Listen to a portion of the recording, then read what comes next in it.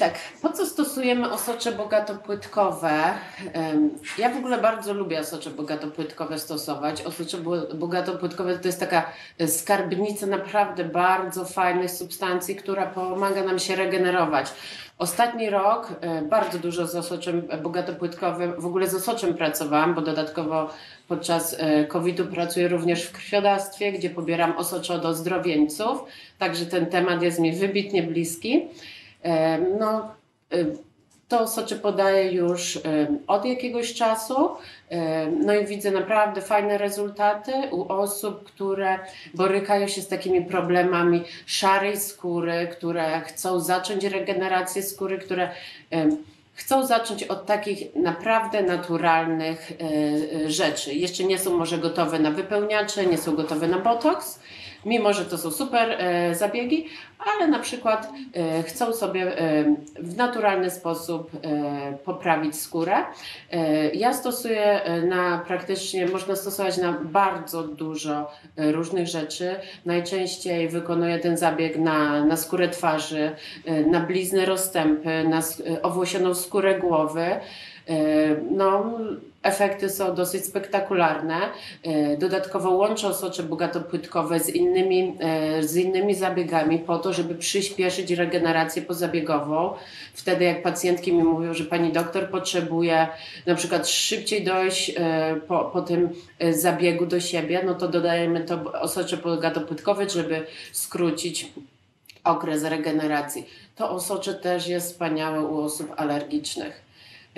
My mamy taki plus, że używamy jako jedni z nielicznych e, systemu Artrex, który nie zawiera żadnych substancji dodatkowych. Tutaj nie ma e, cytrynianu, który hamuje koagulację krwi. Tutaj e, nie ma żelu separującego, który może pomaga nam jako lekarzom odwirować tą krew, ale może czasem wywołać jakieś uczulenia. I to, ten zabieg u alergików jest naprawdę fenomenalny, bo, bo jesteśmy pewni, że on nie wywoła nam, y, że on nie wywoła nam żadnego, y, żadnej alergii, bo ta tkanka jest nasza. Ta tkanka jest nasza i, i nie, nie, nie ma ryzyka tutaj wystąpienia alergii. Y, no wiadomo, tak naprawdę e, skąd się wzięło to osocze bogatopłytkowe? No już wcześniej, kiedyś w ogóle się używało osocze bogatopłytkowe troszkę przy przeszczepach, na przykład przy przeszczepie nerki. Dodawało się to osocze, żeby ta nerka się lepiej przyjęła. Używało się również to osocze bogatopłytkowe w leczeniu ran przewlekłych. No ale wiecie, e, po jakimś czasie wszystkie kobiety, jeżeli coś wpływa na regenerację, no to w pewnym momencie one to zaczną nakładać na twarz. No i e, rzeczywiście e, zaczęłyśmy e, to używać na twarz, no z super skutkiem, fajne, fajne rezultaty dostałyśmy, miałyśmy z tego. E, dlatego uważam, że warto jest zacząć z tym osoczem po to, żeby żeby po prostu w naturalny sposób e, stymulować na tą, e, naszą skórę. Nie jest to zabieg jako taki do wygładzenia zmarszczek, bo tak naprawdę jeżeli chcemy takich spektakularnych efektów wygładzenia i wyrównania zmarszczek, do tego służy toksyna botulinowa i kwas hialuronowy. Osocze bogatopłytkowe będzie nam pomagało regenerować skórę. E, z takimi drobnymi zmarszczkami będzie nam pomagało, ale o tym już może w kolejnych slajdach.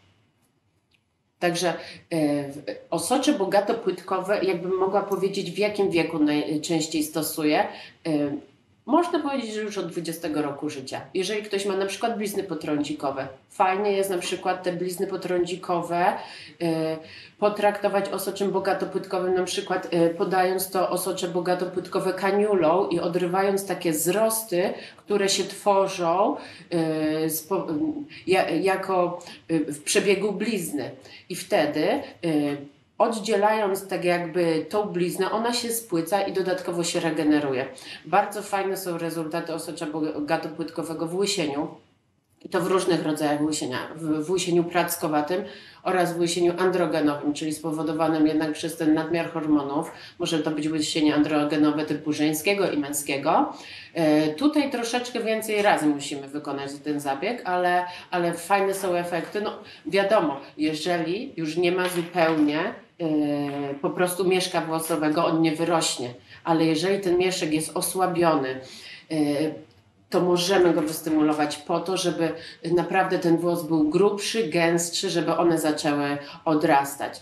Blizny, e, blizny różnego rodzaju, blizny potrądzikowe, blizny w przebiegu operacji plastycznych, e, szybciej się skóra regeneruje, to wszystko dużo łatwiej e, dochodzi do siebie, ta blizna nie jest ściągnąca, ona jest lepiej zupełnie in, y, inne ma właściwości. To nie jest taka sztywna blizna, ona jest naprawdę dużo, dużo lepsza po tym leczeniu. No tutaj do tej pory to w ortopedii, no to to osocze bogato-płytkowe się leje chyba e, strumieniami i, i w szpitalu ono jest bardzo znane w takim świecie typowo medycznym. No ale wiadomo, no, w estetyce zawsze sobie możemy troszkę pomóc. Chciałabym o kolejny slajd i troszeczkę e, powiększenie. E, Troszkę bym chciała Wam opowiedzieć w ogóle, co to jest to osocze bogatopłytkowe i jak ono działa. Tak naprawdę miejsce krwi jest w naczyniach. Miejsce krwi jest w naczyniach, miejsce płytek jest w naczyniach. Jeżeli, e, jeżeli płytki krwi spotyka się w tkankach, to jest taki sygnał dla naszego organizmu, że dzieje się tam jakaś patologia. Czyli organizm jest bardzo stymulowany do tego, żeby regenerować tamtą okolicę. Jeżeli podajemy płytki, to te czynniki, e, e, czynniki wzrostu, one nam stymulują e, wzrost komórek, wytwarza się podczas podania osocza bogatopłytkowego, wytwarza się wyż, większa ilość naszego endogennego kwasu hialuronowego. Też to stymuluje nasz, nasze fibroblasty do produkcji kolagenu i zwiększa ukrwienie skóry. E, także też e, tworzy się sieć nowych naczyń.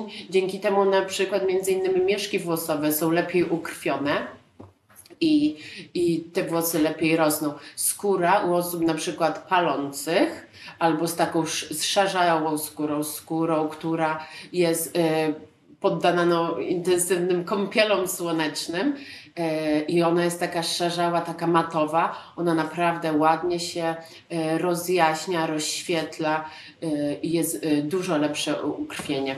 No, przyspieszenie regeneracji tutaj jest bardzo zauważalne po zabiegach laserowych. Wydaje mi się, że to osocze bogatopłytkowe najwięcej wpływa na naszą regenerację. Czyli jeżeli chcemy zregenerować naszą skórę, ją odżywić, to będzie po prostu idealny dla nas zabieg. Dobrze, jakby mogła prosić kolejny slajd.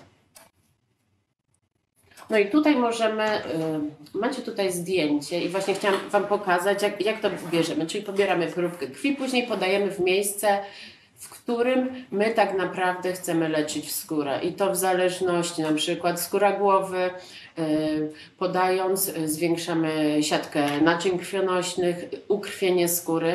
I tutaj mamy pokazaną taką dolną powiekę. I pewnie jeżeli nas y, lekarze medycyny estetycznej oglądają, no to to jest jednak nasza zmora. Bo my botoksem bardzo ładnie kurzołapki możemy wy, wygładzić ale okolica pod okiem jest naprawdę dla nas ciężka. Ja powiem szczerze, najczęściej odsyłam nasz, e, moje pacjentki do doktora Brzuchańskiego, bo efekty zabiegów po e, chirurgii plastycznej są spektakularne, one są długotrwałe, efekty się utrzymują 14 lat. Naprawdę miałam pacjentkę, która po takim czasie bardzo, bardzo ładnie wyglądała operacji, ale y, no jest jeszcze jakieś takie grono pacjentek, które albo myśli, że są jeszcze troszeczkę za młode, albo w ogóle ma przeciwwskazania może do, do wykonania operacji, albo w ogóle nie myślą o żadnej operacji, no to ja wtedy proponuję osocze bogatopłytkowe i takie osocze ja podaję w serii, w serii najczęściej trzech zabiegów w odstępach minimum 15-dniowych, E, no i możecie zobaczyć, jak fajnie się ta skóra regeneruje. Te drobne zmarszczki się spłycają, ona naprawdę jest w dużo lepszej kondycji. I tutaj to jest tylko okolica oka, czyli ja na przykład na to oko użyłam 1 ml, a podczas e, zabiegu ja mam do zużycia aż 6, 5, 6 ml, w zależności od tego też, ile pacjentka wcześniej wypije wody, albo pacjent no to sobie pomyślcie, ile ja jeszcze fajnych rzeczy mogę zrobić. Ja mogę zrobić na przykład wiotką szyję, ja mogę zrobić y, zakola, ja mogę zrobić okolice czoła, y, okolice policzków. Naprawdę te 6 ml wystarczy nam na mezoterapię całej twarzy i jeszcze, jeszcze nawet y, jakichś takich problematycznych stref dla kogoś, na przykład szyi albo, albo zakoli. Mhm, proszę kolejny slajd. Tutaj też taka troszeczkę e, e, powtóreczka. Największym plusem jednego socza bogatopłytkowego jest to, że to jest nasza naturalna substancja. Czyli to nie są żadne obce substancje, nie ma ryzyka y, uczulenia i to jest bardzo dobrze tolerowane. I w zależności od tego, jak, jak pacjentka ma czas się goić, to, to jej doradzam. Czy na przykład lepsze w postaci mezoterapii, czyli takie nakucie drobnymi igiełkami. Y, niektóre pacjentki mówią, że pani doktor, ja bym ja bym bardziej chciała taki zabieg, po których nie będzie siniaczków, no to wtedy używam kaniulę. Y, a kaniula to jest taka igła, która jest stępa na końcu. I dzięki temu mogę ominąć wszystkie naczynia i nerwy i potrzebuję tylko trzy miejsca wkucia na jedną stronę, przez które wprowadzam kaniulę i mogę y, opracować całą twarz. No, no i łączenie tutaj z różnymi, z, z różnymi innymi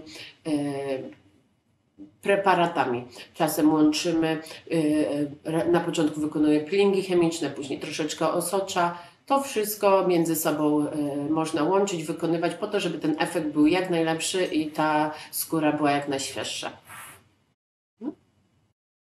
Tutaj o przebiegu zabiegu. Chyba najważniejsze, jak do tego zabiegu się przygotować, bo, bo to jest ważne, to jest ważne. Jeżeli mamy kogoś, to lubi, nie, nie przeszkadza mu oddawanie krwi, no bo wiadomo, muszę, muszę pobrać próbkę krwi, pobieram około 15 ml, później sobie to wiruję. Yy, po wirowaniu oddzielam sobie czerwone krwinki yy, od osocza bogatopłytkowego i to właśnie osocze bogatopłytkowe podaję. Zawsze mówię pacjentkom, zawsze w ogóle robię wywiad, patrzę, czy nie ma w ogóle przeciwwskazań. Przeciwwskazaniem może być przyjmowanie niektórych leków rozrzedzających krew na przykład nie wiem, heparyny drobnocząsteczkowe, ksarelto, e, to by było przeciwwskazanie. Nowotwory w wywiadzie, jakieś choroby wirusowe skóry aktywne, e, choroby autoimmunologiczne. Musimy pamiętać, że na, w chorobach autoimmunologicznych nasz organizm już jest jakby za bardzo pobudzony wyjściowo i my nie chcemy jeszcze bardziej pobudzać e, tego organizmu. Także może osoby z chorobami Hashimoto, z chorobami tarczycy, no raczej staram się im y, zaproponować inny zabieg. Może to być mezoterapia kwasem hialuronowym, witaminami też ze względu na to, y, jakie tam mają, co, co by tak naprawdę chciały y, od tej skóry, że czy ona ma być bardziej napięta, rozświetlona. Także ciąża, karmienie piersią na pewno przeciwwskazaniem. Wiek y, to zależy. Jeżeli to, je, y, jeżeli to ma służyć na przykład y, leczeniu blizn, to można przed 18 rokiem życia, za pozwoleniem rodziców oczywiście wykonać, ale zwykle po 18 robię i, i, i spokojnie możemy już wtedy działać. Tutaj jeszcze o czym bym Wam chciała opowiedzieć, czyli tak, ważne, jak się przygotować. Pijemy dużo wody. Picie wody jest bardzo ważne. Dwa litry dzień wcześniej nie jemy tłusto. Jedzenie tłusto to jest najgorsze, co można zrobić przed oddaniem osocza bogatopłytkowego. Już na kolację nie możemy tłusto jeść. Śniadanko bez jajek, kiełbasy, szynek, parówek to jest najważniejsze. Ja mam takie doświadczenie dosyć duże z tym osoczem, bo pracuję e, w tym krwiodawstwie z tym osoczem od ozdrowieńców i ja czasem potrafię zauważyć, no naprawdę te osocze może mieć różne kolory. Jeżeli ktoś się naje jajek, ono będzie białe i takiego osocza niestety, ale nie możemy użyć. Są osocza, które mają kolor zielony. Jest to dosyć śmieszne, e, dosyć spektakularnie to wygląda. E, związane jest to z przyjmowaniem na przykład jonów żelaza, jeżeli ktoś tam ma e, chce sobie poprawić parametry morfotyczne krwi, ale takie, takie osocze możemy użyć. Też czasami przy suplementacji witaminy B osocze jest fluorescencyjnie żółte. Jak już my mamy to osocze, to sobie właśnie podajemy w mezoterapii i sam zabieg jest dosyć krótki. Sam zabieg trwa około 15 minut, w zależności jaką okolicę leczymy, ale dłużej niż 15 minut on nie trwa. Ja do zabiegu znieczulam moich pacjentów, tych wrażliwszych znieczulam. Te osoby, które nie mają uczulenia na, na lidokainę i substancje znieczulające, po to, żeby zabieg był komfortowy, bezbolesny, e, warto znieczulić 20 minut. Robię taką okluzję z folii. Dzięki temu naprawdę mam taki efekt od, odrętwienia twarzy, ale to, to jest w ogóle niezauważalny ten zabieg dzięki temu. Po zabiegu może być zaczerwienienie skóry. Mogą wystąpić siniaczki u osób, które są bardziej podatne na zasinienia. Ja czasem mam taki, no, myk chyba ze statków, to jedna mi pacjentka opowiedziała o tym, że e, żeby uniknąć właśnie siniaczków e, po zabiegu z nakuwaniem, stosuję taki suplement Arnika montana. Arnika wpływa na zasinienia, to się tabletki bierze trzy razy dziennie po dwie tabletki e, na pięć dni przed zabiegiem, w dniu zabiegów, jeżeli wystąpi siniak podczas całego czasu, jak ten siniak występuje i to skraca e, czas, e, w jakim ten siniak jest widoczny, on się szybciej wchłania i on też rzadziej w ogóle występuje. Też zawsze można jakiś krem z arniką. Ja zalecam moim pacjentom, żeby za e, zablokowali sobie te kilka dni na dojście do siebie. Tak na następny dzień możemy mieć dosyć duży obrzęk. Na przykład pod oczami to jest naprawdę wrażliwa skóra i potem możemy na przykład sobie przyłożyć troszeczkę lodu, żeby ta opuchlizna zeszła. A makijaż zalecam wykonywanie na 24 godziny po. Później po tych 24 godzinach y, można sobie na przykład zrobić makijaż, ale pamiętać, żeby to wszystko było sterylne, żebyśmy używali takich świeżych gąbeczek, żeby te pędzle były czyste, y, żebyśmy y, myli rączki przed nałożeniem makijażu. Też można stosować Skincept, Octynicept do dezynfekcji. Także to z takich ważnych rzeczy. E, cóż, czy mamy jeszcze jakiś slajd, w którym bym mogła troszeczkę więcej opowiedzieć?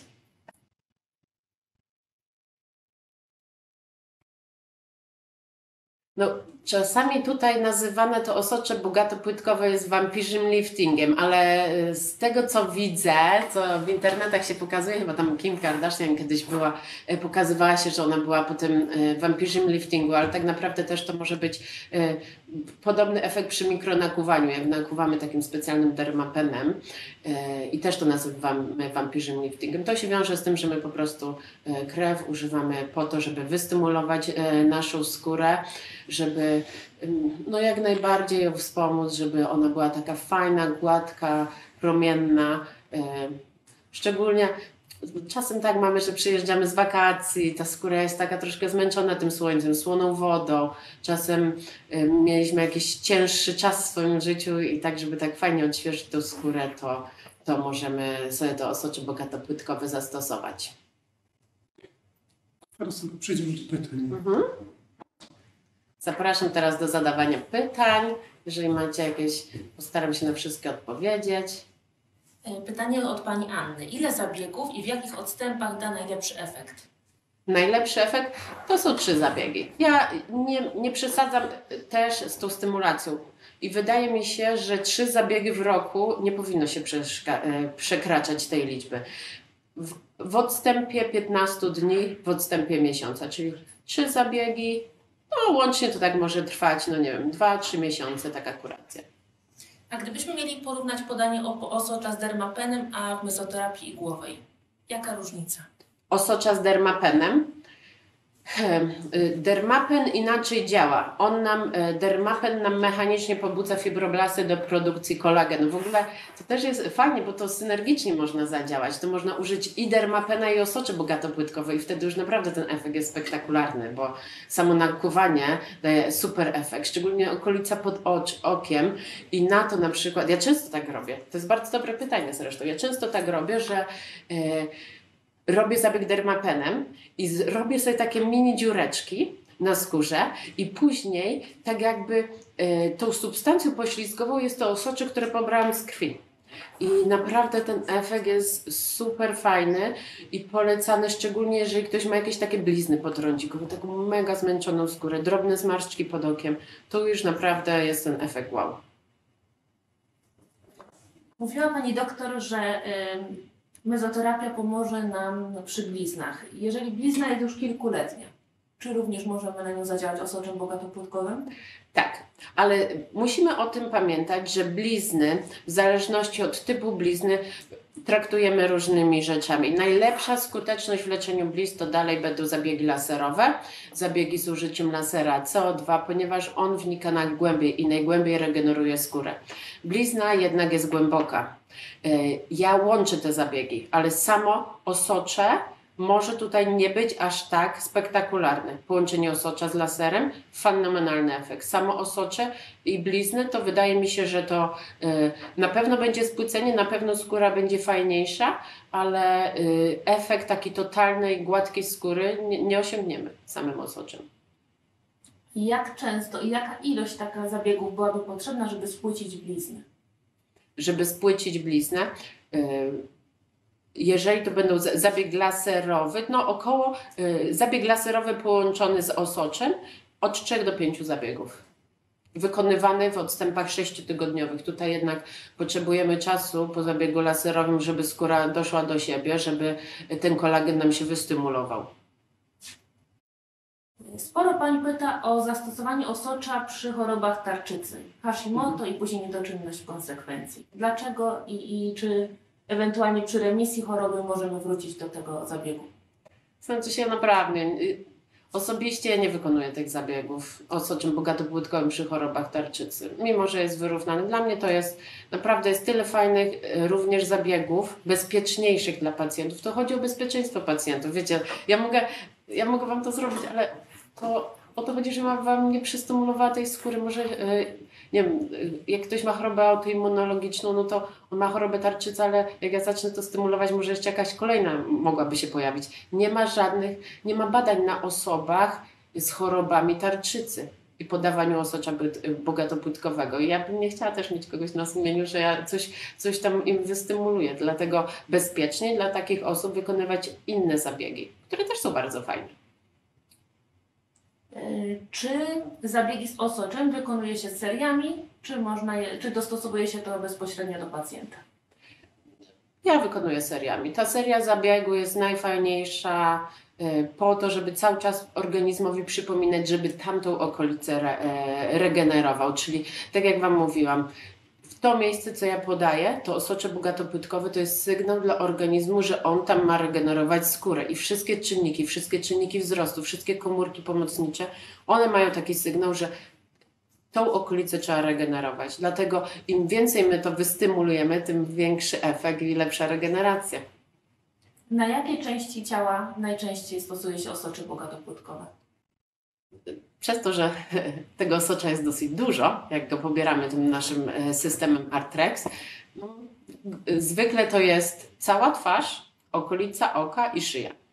Możemy dodatkowo, y, w zależności, no nie wiem, jeżeli ktoś ma jakiś problem, y, tak jak mówiłam, z wypadaniem włosów, też troszeczkę możemy dać na włosy, albo zrobić typowo terapię tylko na włosy. I wtedy zawsze używam igły, bo wtedy ta stymulacja jest najlepsza. Czy taki zabieg jest bolesny?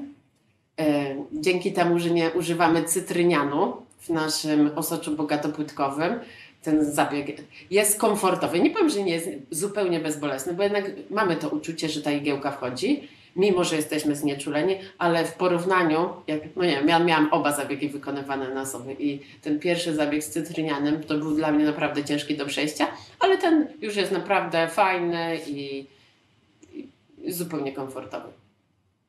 Y, Panie wracają jeszcze do y, pytania o tarczycę. Jakie zabiegi mogą nam w takim razie zastąpić y, terapię osoczem bogatopłytkowym, jeżeli chciałyby zadbać o tą młodą, świetlistą cerę? No to ja bym bardzo polecała e, kwas hialuronowy. Kwas hialuronowy to jest w ogóle substancja, która naturalnie występuje w naszym organizmie. Tylko, że z wiekiem nasz organizm już sobie troszkę zapomina, że ją ma produkować i tak e, co roku produkuje 1% mniej e, kwasu hialuronowego nasz organizm. I my dostarczając ten kwas hialuronowy, napinamy skórę, uwadniamy skórę. Te fibroblasty, w ogóle fibroblasty są takie komórki, które jak są szczęśliwe, to tworzą kolagen. A żeby ją uszczęśliwić, my dajemy kwas hialuronowy, który, e, dzięki któremu one naprawdę dużo aktywniejsze są. I nie dość, że e, podajemy kwas hialuronowy, który ma za zadanie ściągania wody, bo jedna cząsteczka kwasu hialuronowego y, ściąga bardzo dużo cząsteczek wody, to dodatkowo jeszcze te zadowolone fibroblasty nam produkują kolagen. Także mezoterapia z kwasem hialuronowym byłaby bezpieczna u takich osób. Pani Karolina prosi raz jeszcze o nazwę tabletek z arniką. Arnika montana. Mhm. E, Czy zabiegi z użyciem osocza można wykonywać przez cały rok? To jest zabieg całoroczny. Y, Ja jedynie zalecam, no nie opalać, w ogóle ja się zalecam się nie opalać. Fajne są samoopalacze, już teraz nie ma takiej mody, żeby się opalać, bo ten kolagen niestety, ale nam się niszczy na słonku już po 15 minutach. Y, I można naprawdę cały rok wykonywać y, ten zabieg. W okresach letnich dodatkowo zalecam jeszcze, żeby krem z filtrem stosować dwa, trzy razy dziennie, żeby nie powstało żadne przebarwienie po zapaleniu. Pani Ewela pyta, czy osocze może nie zadziałać. Wydaje mi się, że osocze nie zadziałał u osób, które nie powinny go dostać, czyli najważniejsza jest dobra kwalifikacja pacjenta. No, bądźmy szczerzy, osoby, które już y, przez całe życie, no na przykład są powyżej y, 70 roku życia, jeszcze całe życie nie robiły nic ze swoją twarzą, osocze bogatopłytkowe nie będzie dla nich najlepsze, ponieważ te, ta możliwość regeneracji organizmu nie jest aż tak duża jak u osób na przykład 40 czy 50-letnich. Dlatego jeżeli jest źle zakwalifikowany pacjent, to osocze może nie zadziałać. A jakie zabiegi możemy łączyć z osoczem? Bardzo dużo. Tak właśnie jak tutaj jedna pacjentka wspomniała, dermapen, laser. E, w sumie kwas hialuronowy też można połączyć e, z osoczem, mimo że no to zależy, jeżeli na przykład mam alergika, nie łączę, bo jeżeli ktoś jest alergikiem, wolę mieć jedną substancję, albo w ogóle tylko osocze stosować. E, Także no, bardzo, bardzo, bardzo dużo rzeczy może być połączone z osoczem bogatopłytkowym. Wszystkie takie bardzo inwestycyjne zabiegi. e, Warto wspomóc regenerację osoczem. Anna pyta, czy stosuje Pani podwójne odwirowanie osocza i jak osocze ma się w stosunku do fibryny? Nie, nie stosuję podwójnego odwirowania osocza, bo ja no nie, nie mam takiej tutaj technologii. Mam w ogóle w tych moich próbówkach Artrexa dużo bardziej zagęszczone osocze przez ustawienie parametrów i przez specjalną e, strzykawkę, w której ja to wszystko odwirowuję. Tam jest 250% więcej e, aktywnych substancji, także Fibrynę się stosuje, fibryna to w ogóle ona ma taki postać takiej galaretki, też również ją stosuję też e, i ona jest fajna. W ogóle to jest bardzo dobre pytanie kolejne. Ona jest bardzo fajna u osób na przykład na Dolinę Łez. U osób, które mają tendencję do brzęków, wstają rano i mi mówią Pani doktor, ja mam tutaj takie podkowy pod oczami i ja bym coś chciał z nimi zrobić. Ja zawsze pytam się, czy one nie mają tendencji do brzęków, bo ja mogę bardzo ładnie Dolinę Łez wypełnić kwasem hialuronowym, ale jak ktoś mi mówi, że on puchnie rano, to ten kwas nabierze jeszcze dużo więcej wody i oni naprawdę nie będą atrakcyjnie wyglądać. I wtedy ja stosuję tą fibrynę, bo fibryna tak nie ściąga wody, a to jest taki jakby żel, galaretka i ona też stymuluje skórę do regeneracji w tamtej okolicy i delikatnie wypełnia. Taką jakby warstwę podporową nam robi. Czy konieczne jest wykonanie badań krwi, żeby wiedzieć, czy osocze nada się do zabiegu? Mm, Zwykle, y, tak szczerze mówiąc, zwykle każdy jakieś badania krwi miał. Jeżeli na przykład ma tak, że ma mało tych płytek, bo też się tak zdarza. Niektórzy pacjenci, oni wiedzą, że kiedyś mieli wykonywanie badania, badania krwi i zawsze tych płytek było mało i lekarz rodzinny na to stwierdził, no to to osocze to nie będzie najlepszym pomysłem. Ale w ogóle są osoby, gdzie ten poziom płytek krwi jest bardzo wysoki. I, no i te osoby wydaje mi się, że będą mieć bardzo, bardzo duży e, efekt tego zabiegu. Badanie krwi w ogóle warto by było sobie raz za czas wykonać, zobaczyć, czy nie mamy jakichś niedoborów. Zwykła morfologia to nie jest, e, to nie jest dużo, w ogóle kosztuje e, bardzo mało, a możemy zobaczyć właśnie, jak wyglądają nasze płytki, czy nie mamy stanów zapalnych. Dużo nam może o tym powiedzieć. Także zawsze zachęcam wszystkie pacjentki, żeby przychodziły do mnie z wynikami krwi i na tej podstawie mogę doradzić jakiś najfajniejszy zabieg.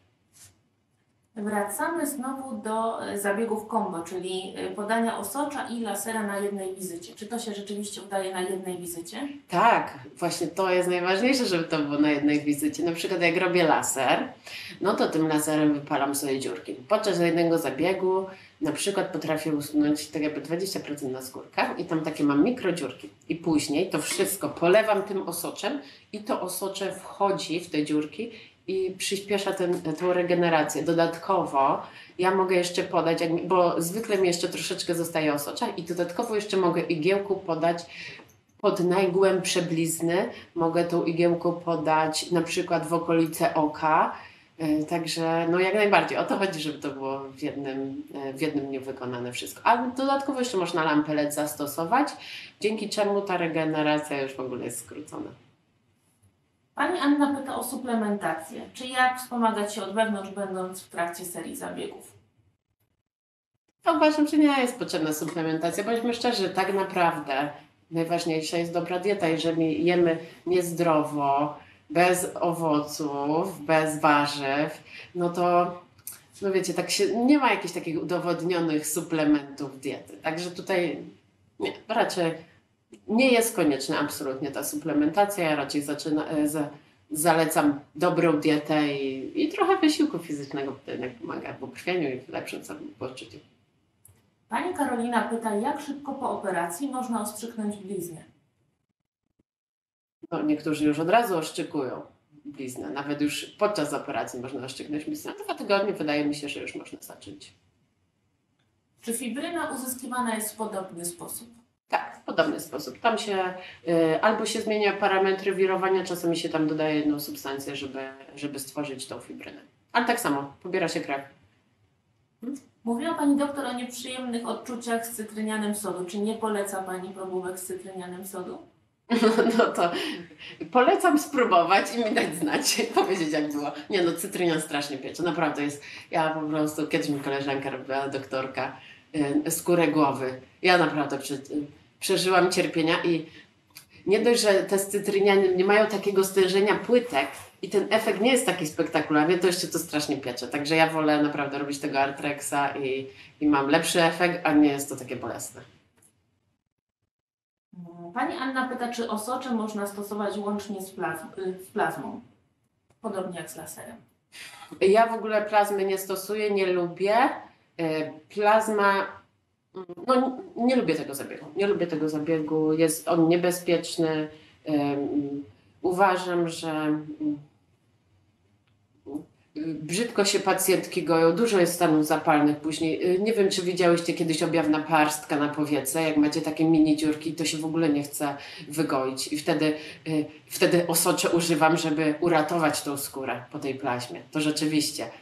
Ale no i później są te przebarwienia pozapalne, długo utrzymujące się, y, rumień po trzy miesiące. No dla mnie to w ogóle, nie lubię tego zabiegu i, i to, to nie jest ym, dobra terapia. Póź, u, używam osoczy, żeby leczyć pacjentki po tych zabiegach, o, tak mogę powiedzieć. Mamy kilka pytań technicznych o zestawy probówek, o formy odwirowania. A, to widzę, że moi, lekarze z mojej strony, znaczy się z naszej strony, medycyna estetyczna tylko dla lekarzy, na pewno ktoś się tam odzywał. No to ci, tych wszystkich lekarzy zapraszam, mogą sobie do mnie napisać na priv, oni wiedzą jak mnie znaleźć.